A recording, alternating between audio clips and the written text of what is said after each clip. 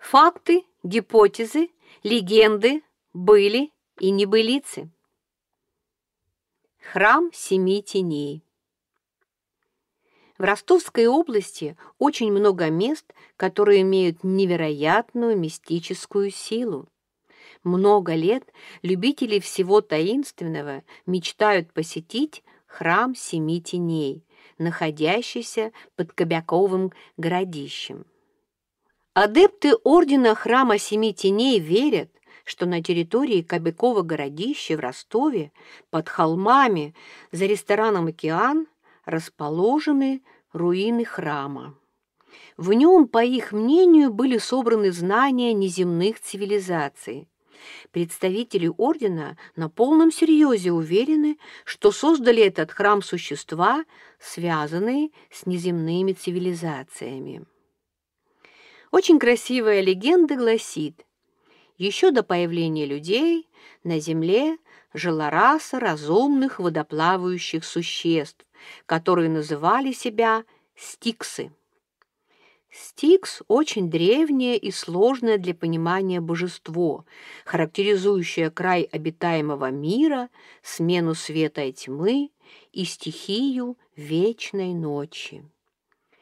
Стикс древнегреческой мифологии – олицетворение первобытного ужаса и мрака из которого возникли первые живые существа, и персонификация одноименной мифической реки Стикс, ведущей в царство мертвых. В гимнах Гомера Стикс называлась спутницей игр богини царства мертвых Персифоны.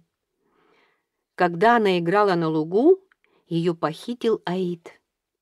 Стиксы – это служители культа смерти и жизни – Именно им изначально принадлежала сеть пещер и тоннелей. Стиксы были мудры и могущественны. Им удалось установить контакты с существами из древних миров и измерений. По их приглашению из параллельного мира в наш пришла еще одна разумная раса существ – Таны.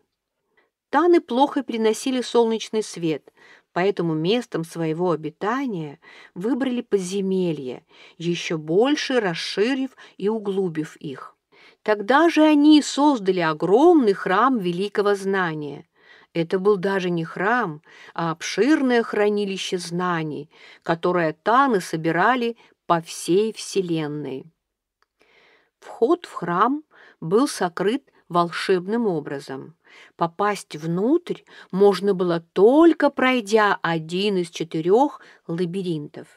Двигаясь по лабиринту к дверям храма, любое существо меняло свою структуру и либо погибало, либо, вынеся трансформации, либо оказалось полностью готовым к восприятию тайных знаний.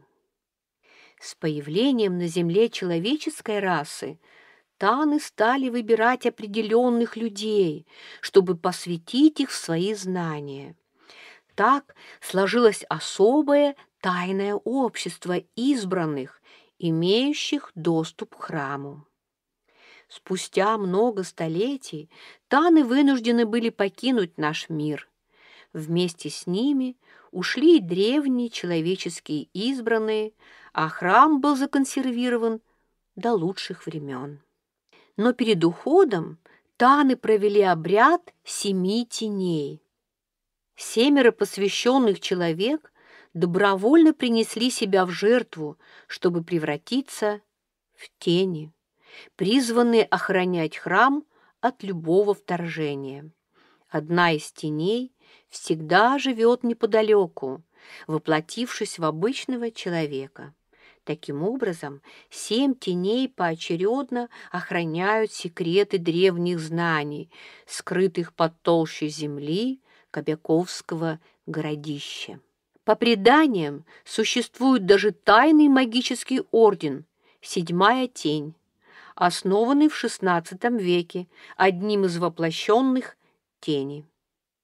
Адепты ордена верят, что и в наши дни в Ростове проживает человек-тень и только он способен без вреда для себя проникнуть в древний храм, превратившись в сверхсущество с необычайно сильными способностями.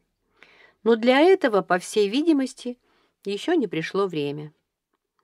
Тень, по мнению адептов этой веры, вечна, и поэтому, когда человек умирает, она появляется в новом теле. Причем человек ее присутствие может не ощущать. Эзотерики считают, что тень сама решает, стоит ли привести человека к храму и открыть ему древнее знание.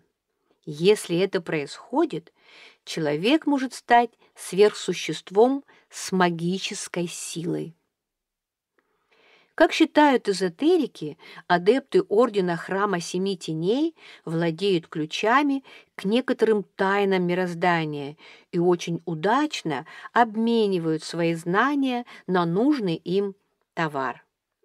Знания, которые в качестве оплаты предлагают адепты храма Семи Теней, многие великие оккультисты выдают за свои собственные откровения, ибо кредо ордена всегда оставаться в тени и не участвовать ни в каких спектаклях социума.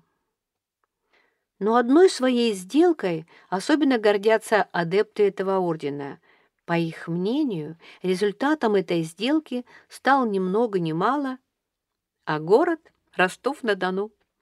Все легенды о храме Семи Теней — это симбиоз греческой мифологии и языческих культов народов, некогда населявших Донской край. А легенды и мифы всегда будоражат умы мистиков и эзотериков.